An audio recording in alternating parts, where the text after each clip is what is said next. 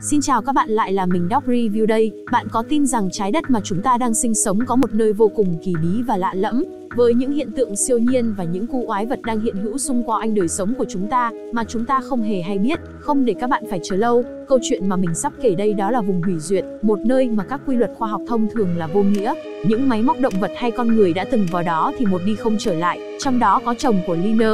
Đột nhiên người chồng đã mất tích một năm bất ngờ quay về, cô ấy rất vui mừng chỉ là người đàn ông rất kỳ lạ lạnh nhạt và hoạt động rất chậm chạp, giống như đã trở thành một người khác. Cô hỏi anh đã đi đâu, anh ấy trả lời anh không biết.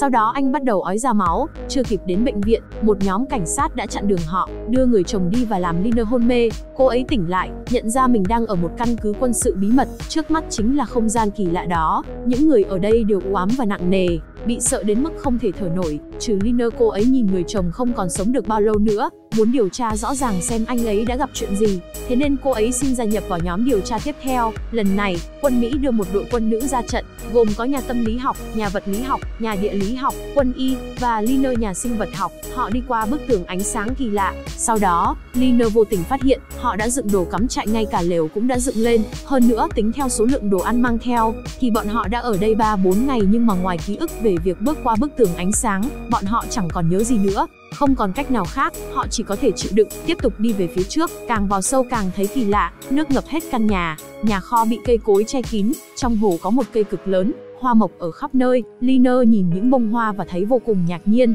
những bông hoa này không cùng một loại, nhưng lại mọc trên cùng một dây leo, đột nhiên nhà vật lý học bị kéo vào trong nhà, cả nhóm người liền chạy vào, Cô ấy hét lên có thứ gì đó đang kéo cái túi của cô, bọn họ cùng nhau kéo cô ấy lên, vừa chạy đến bên bờ, căn nhà liền phát ra tiếng kêu lớn, một con cá sấu khổng lồ trồi lên khỏi mặt nước, bò đến hướng của họ, kỳ lại cơ thể của nó trắng như bạch tạng, nó há cái miệng lớn ra rồi phun máu, súng bắn vào người nó nhưng không được, cuối cùng Liner đã bắn thẳng vào miệng nó, và cũng đã hạ gục được nó. Sau đó họ kiểm tra cái sát của con cá sấu, Liner nhận ra điều kỳ dị là răng của con cá sấu lại là răng của con cá mập. Bọn họ không thể hiểu nổi điều duy nhất họ biết được là nơi này không thể ở lâu. Bọn họ tiếp tục đi dọc dòng sông, tìm được một căn cứ quân sự có thể nghỉ ngơi. Nỗi kinh hoàng chỉ mới bắt đầu, họ nhận ra nhóm người đợt trước đã từng thay nhau canh gác đêm, tại sao phải canh gác đêm? Bọn họ tìm ra một cái túi đựng tài liệu trên đó có ghi để lạo cho nhóm người tiếp theo. Nó là một cái thẻ nhớ bọn họ mở ra xem. Hình ảnh trong đó là chồng của Liner và đồng đội của anh ấy. Người đàn ông dùng dao cắt vào bụng của người kia. Phát hiện ra bên trong không phải là nội tạng của con người, mà là một đống sợi lúc nhúc như đàn rắn thật là kinh dị. Quân y nhanh chóng tắt máy quay đi. Nhà vật lý học như muốn nôn ra. Quân y bắt đầu la hét. Cô ấy không tin được đây là sự thật. Cá cô gái bắt đầu cãi nhau. Sau đó họ phát hiện ra một thứ kỳ lạ hơn. Đó là cái xác của một người đàn ông nó nở ra như một đóa hoa nội tạng đã bị các nhánh cây thay thế, cả cơ thể đã trở thành bức tranh độc đáo và có phần quái dị. Liner lấy mẫu vật từ cái xác để nghiên cứu. Tối hôm đó cô dùng kính hiển vi quan sát và nhận ra tế bào bên trong mẫu vật này có thể tiếp tục biến dị. Liner bước ra, tìm được nhà tâm lý học cô hỏi cô ấy rằng, tại sao chồng mình lại tham gia vào chuyến đi được coi là tự sát này? Nhà tâm lý học lại nói, không phải tự sát, mà là tự hủy diệt. Con người rất ít khi tự sát, nhưng lúc nào cũng có tâm lý tự hủy diệt bản thân. Ví dụ như là hút thuốc, uống rượu, hay thậm chí là ngoại tình. Liner đã hiểu ra do chồng phát hiện ra cô ngoại tình, nhưng lại không muốn làm cô tổn thương. Nỗi đau khổ khiến anh ấy tự hủy diệt bản thân, nên anh ấy mới tham gia chuyến đi này. Đột nhiên một âm thanh lớn vang lên, cô ấy lấy chiếc kính bàn đem đeo vào lưới sắt đã bị đứt nhà địa lý học liền đến giúp, nhưng trời quá tối họ không nhìn thấy gì cả. Đột nhiên một con quái vật xuất hiện nhào đến nhà địa lý học, kéo cô ấy vào trong rừng. Liner không đuổi theo kịp chỉ có thể quay về, những người may mắn còn sống lại cãi nhau nhiều hơn, nhất là quân y, tinh thần cô ấy lúc này muốn suy sụp. Bọn họ tiếp tục đi đến một khu dân cư, những cái cây thu hút ánh nhìn của Liner, không ngờ chúng lại có hình người. Lúc này nhà vật lý học nói, đây chính là con người, tia sáng ở đây có thể khiến tất cả DNA xảy ra hiện tượng khúc xạ, khiến người biến thành thực vật, động vật biến thành một loài động vật khác, sau đó họ đến một căn nhà, Quân y nhìn vào bàn tay của mình hình như có thứ gì đó đang chuyển động trong lòng bàn tay. Sau đó Liner lén xét nghiệm máu của mình. Cô ấy phát hiện tế bào của mình cũng đang quân tách. Liner liền tỉnh lại phát hiện mình đang bị trói trên ghế. Là quân y đã trói họ lại. Cô ta đã phát điên. Cô ta nghĩ rằng nhà địa lý học là do Liner giết chết. Sau đó cô ta quyết định làm giống nhóm người đi trước, mổ bụng của Liner ra xem thử. Vào lúc này tiếng kêu cứu của nhà địa lý học từ ngoài vọng vào. Cứu tôi với cứu tôi với. Quân y cầm súng chạy ra. Một con gấu không không phải gấu, một con quái thú biến dị xông vào nhà, nó không có mắt, miệng nó không ngừng phát ra tiếng kêu cứu của nhà địa lý học.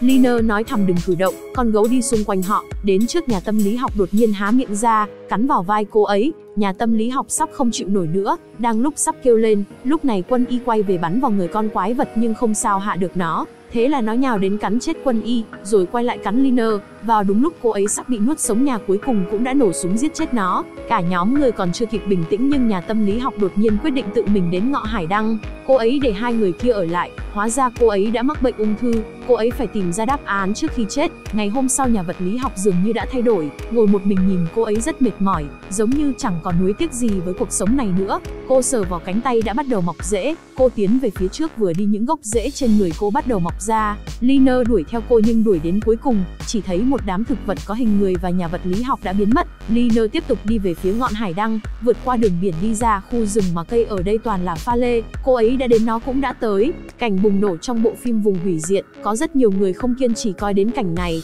nhưng cũng có một số người bất ngờ, nó khiến người ta sợ hãi, nghẹt thở.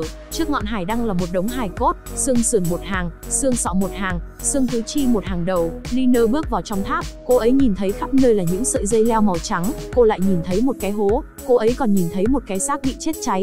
Đây là ai? Cô đến bên máy quay phim xem trong đó là hình ảnh người chồng, anh ấy đã tự quay lại những điều anh muốn nói. Sau đó mở chốt lựu đạn, sau khi anh ấy tự làm nổ chính mình có một người ở ngoài khung hình từ từ bước vào, là một người đàn ông rất giống anh ấy. Chuyện gì đang xảy ra? Đáp án có lẽ trong cái hố thiên thạch rơi xuống. Liner trèo vào trong, bên trong là một cái lỗ rất sâu, một không gian khác. Nhà tâm lý học ngồi trong đó nói lung tung. Mắt tôi đâu? Cô ấy nói với Liner nó đã ở trong cơ thể tôi, nó sẽ sinh trưởng, còn tôi sẽ bị hủy diệt. Sau đó miệng của cô ấy bắt đầu bắn ra tia sáng, không phải tia sáng mà là từng tế bào trong cơ thể của cô ấy. Cô ấy bị phân tách thành những mảnh vỡ, những mảnh vỡ từ từ ghép lại thành một khối. May sao Liner nhìn vào nó thấy mê, lúc này một giọt máu trên mặt cô ấy đã bị hút vào trong. Sau đó cô ấy nhìn thấy tế bào của mình phân tách rồi lại phân tách ra, cho đến khi tế bào phân tách hàng trăm hàng nghìn lần và tạo thành một con người. Một con người có tạo hình kỳ dị, Liner nổ súng bắn nhưng không chết, cô vội vàng bỏ chạy, nhưng chạy ra đến ngoài, con người kỳ dị đã đứng sẵn ở đó, cô ấy nhìn nó,